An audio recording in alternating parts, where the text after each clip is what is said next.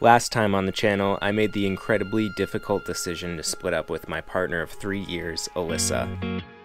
It was one of the hardest things I've done to leave behind the person I love and the bus we lived so many adventures in together. But in order to grow into the person I want to be, I knew I would have to do it alone and have complete ownership of that journey. So, after an incredible final adventure to the famous Wave in Arizona, we made the split just before Thanksgiving. I headed north towards Capitol Reef National Park, embarking on my dream of a solo search for inner peace.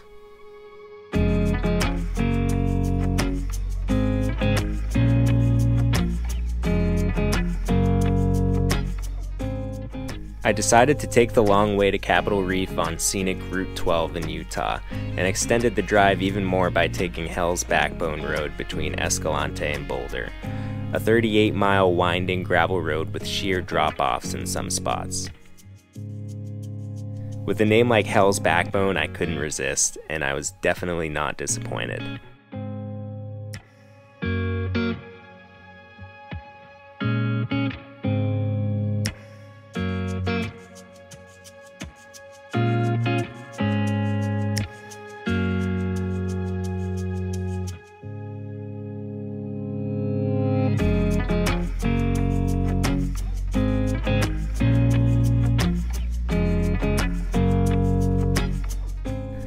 After a long day of meandering, I found camp just outside the national park.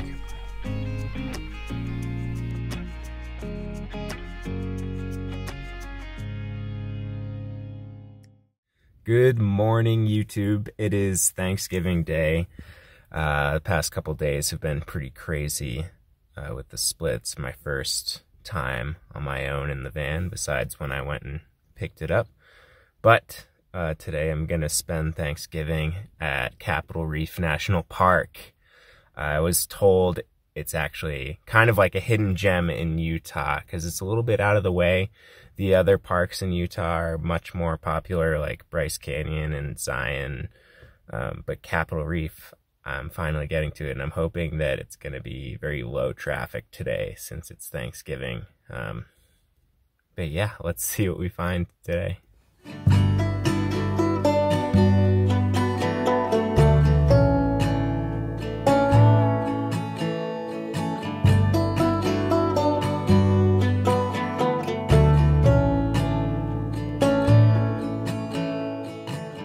I started off the day on the Hickman Bridge Trail.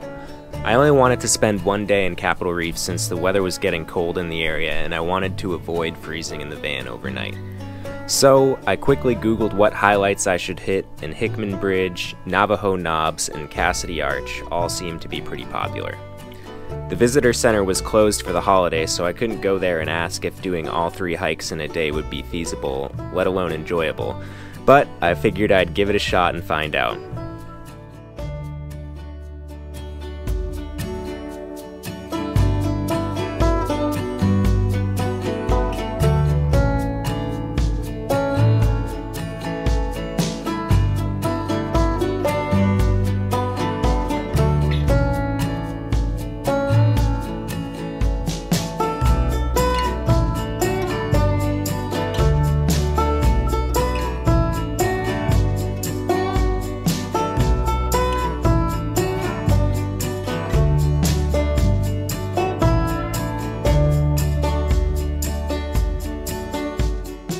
Hickman Bridge was a great warm up hike to wake my body up.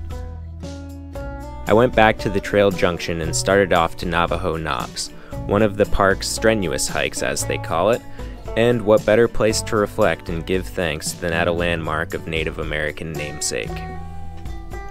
I was the first one on that trail that morning, which I felt thankful for.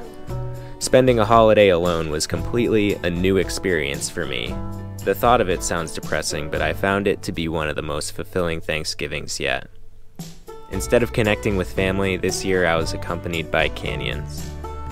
Although I miss my family, it was somewhat of a relief to not have to try and remember how to navigate social dynamics with cousins and cousins of cousins, which I usually resolved by keeping to myself anyway. And instead of being distracted with reacquainting or avoiding reacquainting, I simply had the space to think about what I was thankful for. That was easy because it was practically hitting me in the face.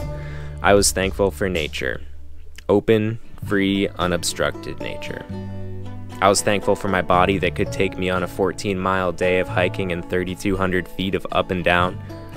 I was thankful for the opportunity to be with myself, to smile with myself, to breathe fresh air, to be silent and still, and to be in such a beautiful place. Whenever I hike alone, there's always an urge to want to share it. I have to remind myself to relish in these special moments that are just for me.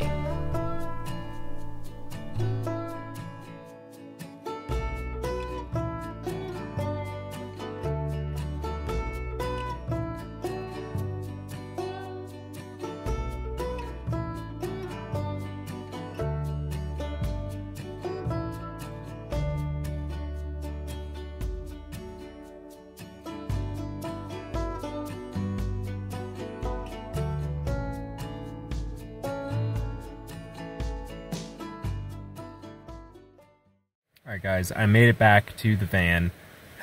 I was hoping that because it's Thanksgiving that it would be less crowded in the national park. I thought, you know, like maybe people would be spending time with their family. I mean, I know it's a different Thanksgiving, but I thought people would be home eating, but no. It, the national park is packed. It's crazy. It seems like uh, that's kind of the thing to do this year is go on a family hike instead.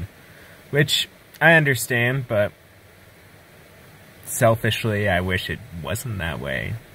But anyway, the hike was beautiful. I didn't have many people up there. For some reason in national parks people don't like to get up early. If you if you just show up at the trailhead at 8, you shouldn't be good. You won't you won't see like more than a few people.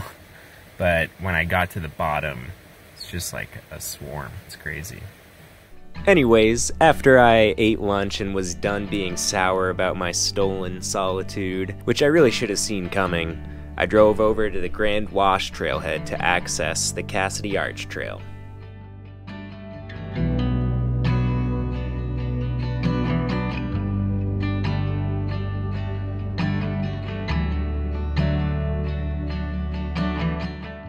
The trail leads to an arch named after Butch Cassidy because it's thought to be one of his old hideouts.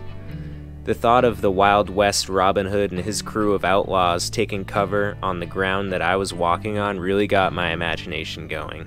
But an even more entertaining thought to me was how angry Butch must be that all these tourists have ruined his spot.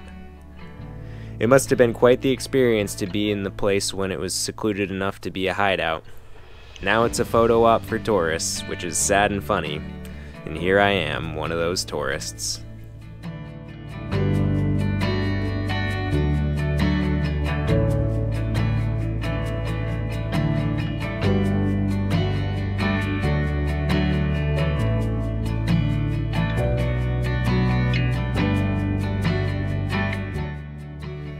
So, I was able to get the three hikes that I wanted to done without much struggle, I got to reflect a lot and I got to remember the paradoxical feeling of being in a national park, whose landscapes inspire so much wonder but also feel like an abomination to those landscapes they swear to protect for bringing so many people, waste, and wear to the land.